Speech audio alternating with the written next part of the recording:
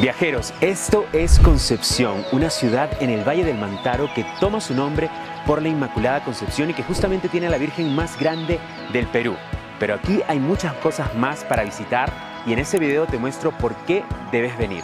¡Vamos!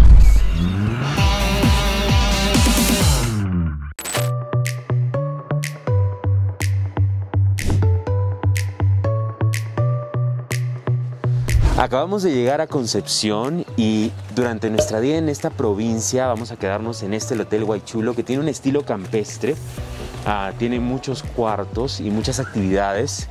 Está muy interesante, está como a 15 minutos en taxi o colectivo, combis también, del centro de Concepción.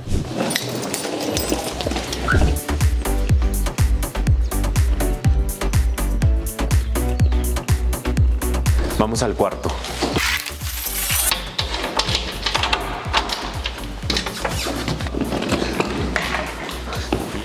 Dos camas, bien. A ver, voy a tomar una siesta. Están cómodas. El closet con la caja de seguridad. Esto es importante. Más cajones. La tele, que pues, hoy en día casi no se ve tele. Lo importante es el wifi. Y parece que aquí Ay. un balcón, un patio. Ah, esto da al patio. La gente está jugando ahorita. Y el baño completo. La ducha con agua caliente. Aquí nos estamos quedando en Concepción. El Hotel Guaychulo tiene muchas áreas de esparcimiento, zonas de juegos, además de un restaurante. Una de las cosas por las que Concepción es conocida es por la alcachofa. Y hemos venido al restaurante del hotel porque aquí sirven un ceviche de alcachofa que nos han dicho que está muy rico. Mmm, rico. Se ve bueno, ¿ah? Hasta mañana. Buenos días desde Concepción. Amanecemos con lluvia, un poco de frío, por eso estamos en capas.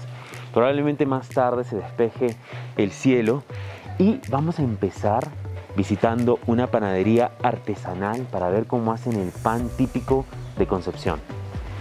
Esta es la panadería Juanita, donde los trabajadores madrugan para que los hogares de Concepción tengan pan fresco. Ya está, ya está. Ya lo voy a hacer. Una panadería liderada por Lorena. Bueno, yo soy panadera desde mis abuelitos. Yo prácticamente soy la tercera generación ya. Y uno de los secretos es su horno artesanal construido en los años 50. Está hecho de mm, arcilla, tiene este cabello de gente, tiene el excremento del caballo, tiene chancaca, azúcar, vidrio, todo es, y sal también. Pero este horno es de mi suegra. Y la panadería le hemos puesto, ella cuando falleció le hemos puesto panadería Juanita.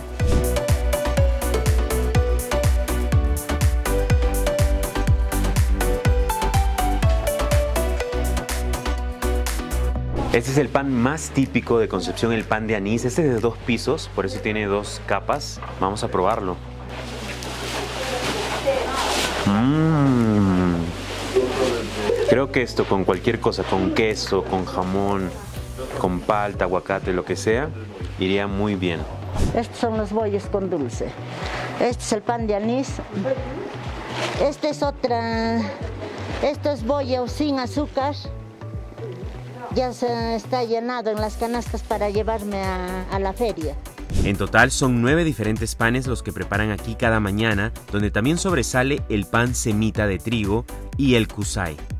Este es el dulce, acaba de salir del horno, el kusei. Vamos a probar un poquito. Mmm. Qué rico. bastante, ¿no? Sí. Y está acostumbrada al dolor. Tras probar los ricos panes de Concepción, ahora nos vamos a probar unos caldos. Hemos llegado para desayunar en Doña Lucia. Aquí se eh, especializan en hacer caldos. Todos nosotros aquí preparamos todo lo que es con leña, todo es a leña. Pero también hemos pedido un café para empezar. Este café es especial porque está hecho en un porongo de barro. Vamos a probarlo. Mmm, qué rico. Y con el frío que está haciendo esta mañana, Está buenazo. Acá estamos sirviendo lo que es el mondongo. Para comer pedí la clásica sopa de mondongo, también conocida como patasca, sopa que lleva maíz mote, mondongo y carne de res. a ver, vamos a probarla. Mmm, está buena, un buen lugar en Concepción. Acá hay ojo, oreja, estas presitas. Esa es la orejita. El otro clásico es el caldo de cabeza de cordero. Renzo ha pedido el caldo de cabeza, ¿qué tal? Está rico, pero mm, sí, necesito limón. Me gusta bastante echarle limón a la sopa. Con la barriga llena y el corazón contento nos vamos a recorrer Concepción.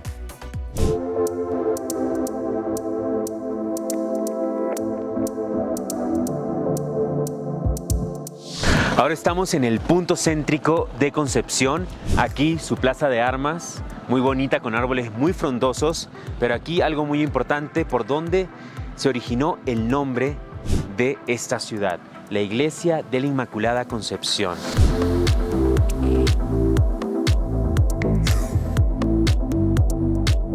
Esta virgen que es muy venerada en esta ciudad, por eso también hay una estatua inmensa en ese cerro donde trataremos de subir más tarde, pero ahora vamos a la iglesia. La iglesia matriz fue una de las primeras construidas en el Valle del Mantaro, pero esta no es la original. Con el tiempo ha tenido muchas reconstrucciones y por eso actualmente tiene un estilo neoclásico. Aquí se venera la patrona de la ciudad, la Virgen de la Purísima Concepción, a quien celebran cada 8 de diciembre. Nos encontramos en la plaza principal, que es un, es un escenario donde se ha realizado la batalla del 9 y 10 de julio en 1882.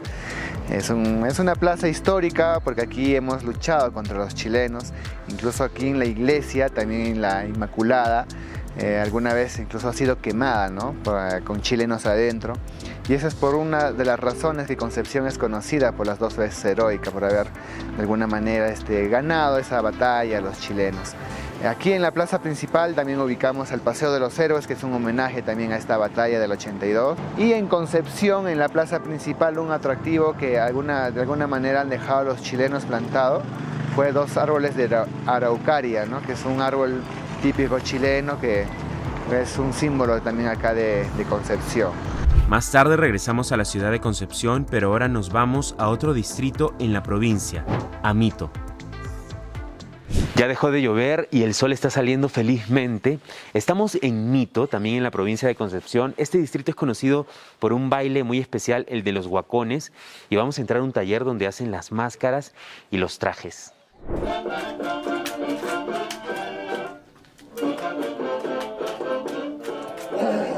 Hay ocho bienvenidos a Mito.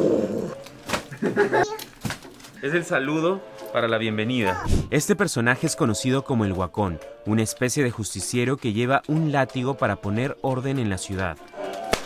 Una de las características de este personaje es mantener su identidad en secreto, pero Henry la devela para mostrarnos sus trabajos como artesano.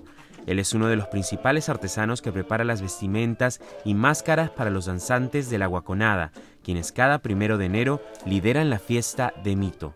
Eh, careta de huacón moderno, eh, careta de huacón antiguo, talladas por mí, ¿no? Esto es de madera liso y esto es de madera pino. El guacón antiguo, a diferencia del moderno, busca mantener lo más tradicional como este calzado rústico de cuero de res. Hoy en día existe huacón antiguo y huacón moderno. Y yo, como pueden verme, estoy disfrazado de huacón antiguo, ¿no? El huacón antiguo, su vestimenta está consistiendo en a base de lana de carnero y alpaca, ¿no? Como siempre que viajo me gusta comprar artesanías directamente con los artesanos. Le he comprado esta máscara a Henry y me sale con la sorpresa que la he usado tres años, así que tiene mayor valor histórico. 150 soles. Apoyen a los artesanos locales cuando viajen. Un montón de cosas. Ahora estamos en la plaza central de Mito, allá su iglesia, que me dicen que es muy bonita pero está cerrada, no se puede entrar. Y aquí también hay una fuente que llama mucho la atención aquí. Es una inspiración en la fontana de Trevi en Italia. Vamos a volar el dron para ver las tomas de arriba.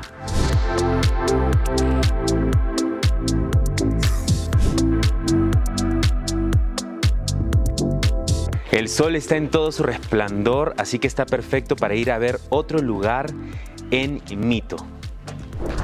Hemos llegado a Wawi Wawi, una formación natural muy interesante. El costo de ingreso es 2 soles y la caminata es más o menos de 10 minutos para llegar al punto donde se ve el paisaje espectacular. Ya desde aquí se ve un poco, ¿eh?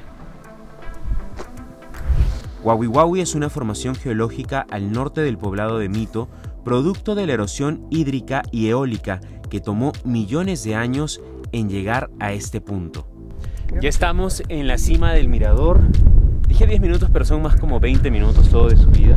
Desde la cima se ven las formaciones como conos. Son formaciones de arcilla blanca que asemejan torres. Wawi significa bebé, bebé y es por eso que la tradición cuenta que quien visite este lugar tendrá mellizos o gemelos.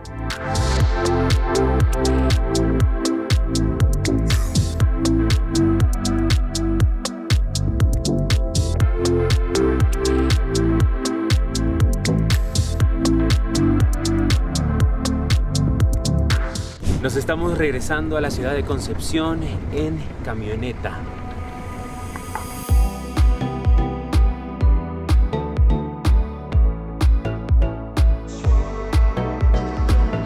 Por supuesto teníamos que venir al mercado de la ciudad. Estamos en el mercado de Santa Rosa y hemos venido a probar un menú de aquí.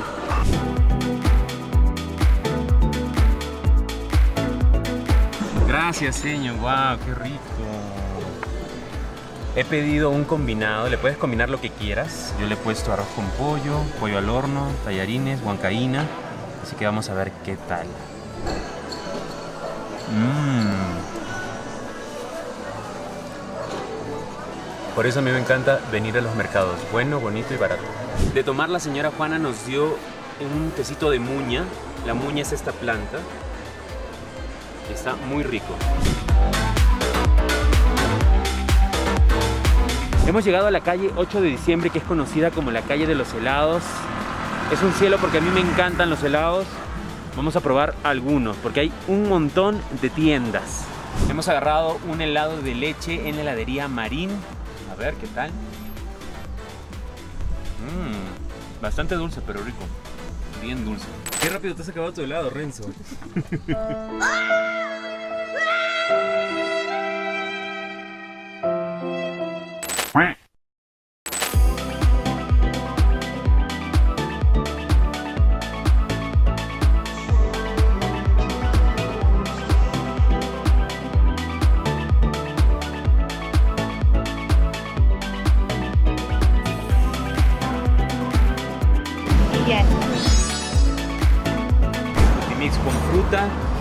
de la zona. Tiene sauco, fresa, mango y piña, ¿no?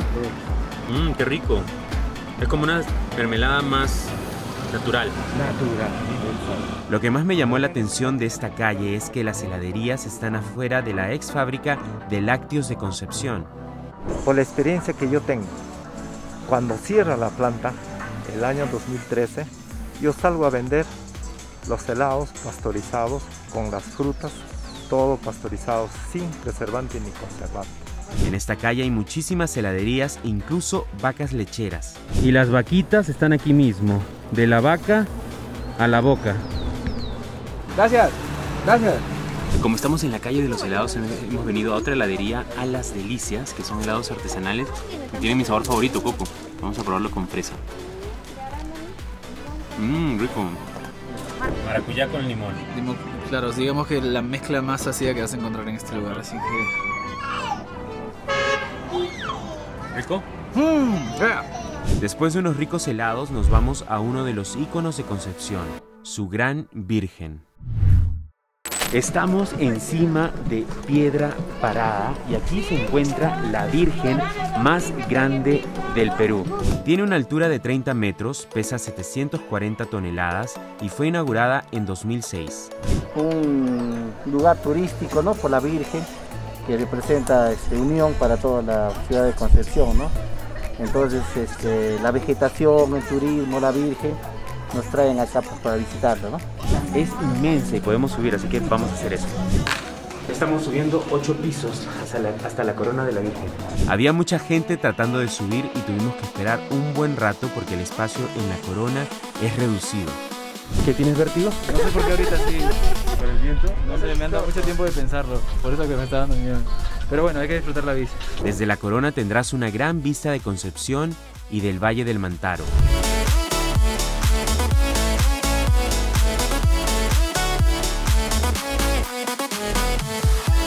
Ahora estamos bajando a pie hasta Concepción. Lo tapa el eucalipto, pero ahí está atrás. Después de un largo día disfrutando de Concepción, nos vamos a tomar algo en Balcony.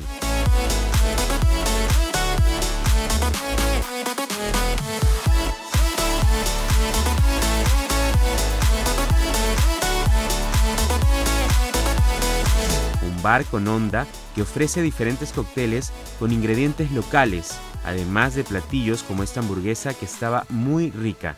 De aquí nos despedimos hasta el día siguiente. Estamos yendo al centro de la ciudad, al mercado, para desayunar. Estamos saliendo del Hotel Guaychulo. Por si se quedan aquí, pueden tomar los colectivos justo saliendo a la derecha.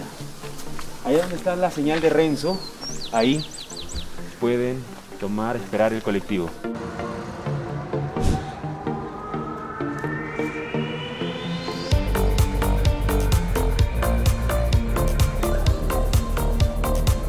A ver qué desayunamos en el mercado.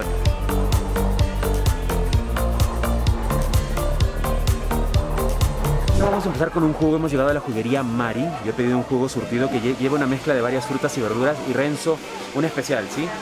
La diferencia del especial es que lleva huevo y leche.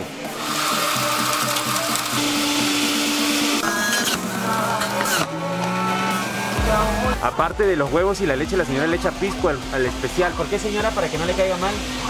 Dice la señora para que no le caiga mal. ¿Sí le siente el pisco?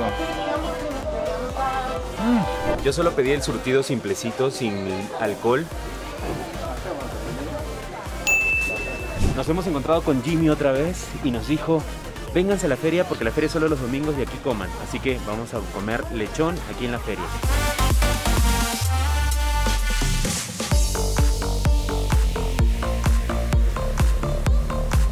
Hemos llegado al puesto de Florita donde venden la clásica gelatina de patita, alta en colágeno, y la chicha de maní. Vamos a probarla. La gelatina de patita es un clásico en la Sierra del Perú, una gelatina hecha de las patas de la res, y este puesto tiene más de 60 años vendiéndola. ¿Y cuál es el proceso? Se agarra la pata de la vaca. Hay que pelarlo, lavarlo, cocinarlo. Se cocina un día y medio. Yo para los domingos para salir pongo el día viernes en el día a las 8. Todo el día, toda la noche y sábado a mediodía empiezo a hacer. Y este se congela al tiempo. No está metido al refri. Está al tiempo. Y domingo salgo a vender la feria. ¿Y la chicha de maní? Bueno, este sí también es, hay que tostarlo, molerlo. Tiene ajonjolí, canela, clavo, algunas otras ingredientes. ¿Y leche? No, Ah, no. no ah. tiene leche, no tiene nada. Es, la maní misma con- crema del maní. Sí, La chicha de maní. No, no es fermentada, ¿no? no, es de un día para otro. Mmm. Mmm, qué rica. Y la gelatina de patita no sabe nada a res. Ya hemos probado esto antes en Jauja. Ay, la gelatina de patita. A ver. Mmm, bien rica. Ahora vamos a probar el lechón tradicional, un lechón sazonado al horno. Aquí la diferencia del lechón es que eh, solo le ponen el chancho, el puerco. No le ponen cebolla ni lechuga como probamos en Jauja, pero sí ají, de huacatay. Vamos a probarlo. Mmm, rico. Después de esta rica comida nos vamos a un lugar muy especial en la provincia de Concepción.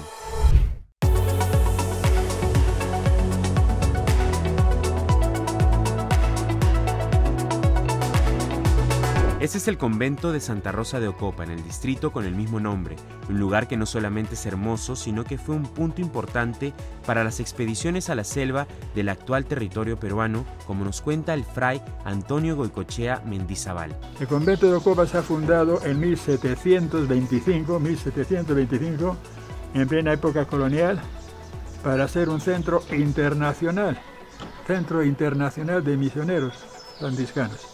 Como el fray Antonio que llegó de España, muchísimos extranjeros dedicados a la vida religiosa de los franciscanos llegaron para emprender las misiones a la selva. Nos han permitido tomar imágenes en el convento de Ocopa adentro, eso es algo que no pueden hacerlo usualmente, pero para que puedan verlo ustedes. El convento se llama Santa Rosa de Ocopa porque antes de su construcción aquí había una capilla dedicada a Santa Rosa de Lima, la primera santa del Nuevo Mundo. Su imagen se encuentra por todos lados en este convento. Este lugar, a 3.360 metros sobre el nivel del mar, fue estratégico por su cercanía a la selva peruana. Desde aquí los misioneros franciscanos llegaron a lugares donde pocos habían llegado. Una historia de casi 300 años que se refleja en este inmenso mural. Vamos a entrar a la biblioteca, que es una de las piezas históricas más importantes de este convento y del Perú también.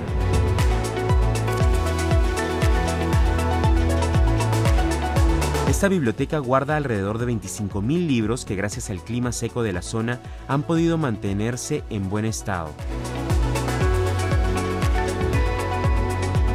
El libro más antiguo de 1481, impreso, impreso. Ahora ingresamos a un cuarto que tiene tesoros de las expediciones a la selva. Este cuarto también es súper importante porque guarda una reliquia de animales disecados como este oso hormiguero. Este era básicamente el zoológico de antes. Animales preservados por medio de la taxidermia. Hay que tomar en cuenta que esos animales eran desconocidos para la mayoría de personas en esa época. Ahora vamos al coro de la iglesia donde se encuentra un imponente órgano alemán que como nos muestra el fray, funciona con ayuda humana.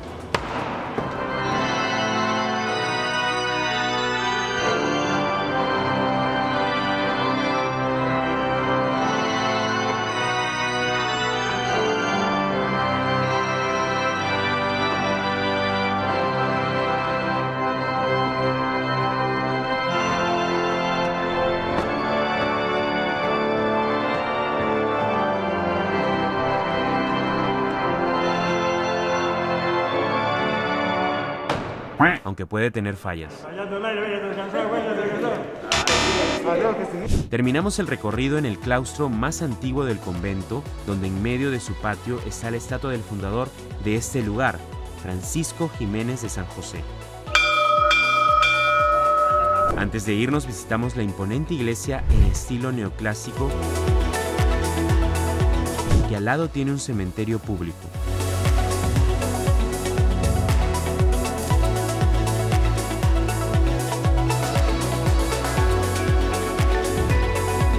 Ahora del convento estamos caminando hacia el pueblo de Santa Rosa, que está aquí nomás a unos pasos.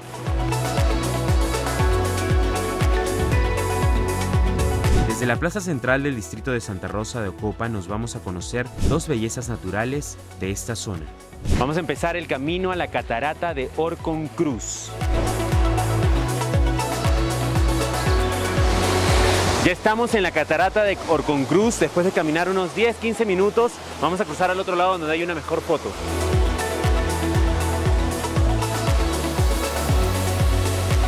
Ahora tomamos otro camino para llegar a la catarata de la Ñusta. Un poco más pequeña que la otra, pero interesante. Después de la aventura natural nos vamos a la granja de Cuyes Los Nobles, donde se especializan en la crianza de una delicia andina. Qué impresionante, hemos llegado a un criadero de cuis, los conejillos de India, como los conocen en algunos países. Hay de todo tamaño y están, son muy tiernos, da pena comérselos. Porque recuerden que en Perú estos animales son alimento, no son mascota. Han sido domesticados desde hace miles de años para hacer comida. Eh, incrementa tu inmunidad, es un animal cero en colesterol y aparte de eso tiene alto contenido de proteínas, tiene un 21 a 22% de proteína y más que nada hoy en día ha generado un movimiento económico tanto local, regional y nacional. Para probar el cuy lo están preparando al estilo caja china que se ha estado cocinando por varias horas. Esta es la mitad de un cuy a partida, vamos a probarlo. Mmm, está rico, rico.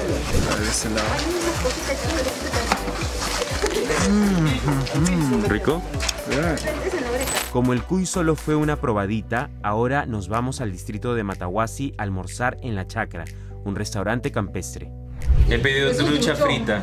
A ver, la trucha, que se ve gigante, frita, con ensalada. A ver. Mmm. Está rica. Está rica. Aquí también se especializan en hacer pachamanca, una comida que se prepara en la tierra. ¿Rico? Para terminar este recorrido nos vamos a Chimpamarca, una zona conocida por la crianza de caballos de paso.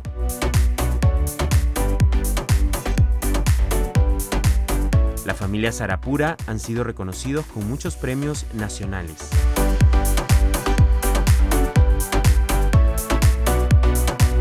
Aquí han adoptado muy bien esta tradición de la costa peruana que llevan de la mano con la ganadería. Esta zona es conocida especialmente por la producción de lácteos. Nosotros como ganaderos, pues nosotros proveemos la materia prima a los que son pequeños empresarios que transforman los lácteos, ¿no? Entonces ellos transforman en queso fresco prensado, ahora sacan queso andino, entonces ya desarrollan muchas más cosas, mantequilla, majar blanco y es básicamente de la materia prima que nosotros le proporcionamos. ¿no? En esta visita por la provincia de Concepción hemos aprendido y visitado lugares muy interesantes, pero como siempre hay muchos lugares por visitar. En el próximo video emprenderemos una aventura al distrito de Comas para subir hasta la montaña Verdish. Si quieres más información sobre lo que puedes visitar en Concepción, entra a edendeviaje.com barra Concepción Junín. Nos vemos en el próximo video.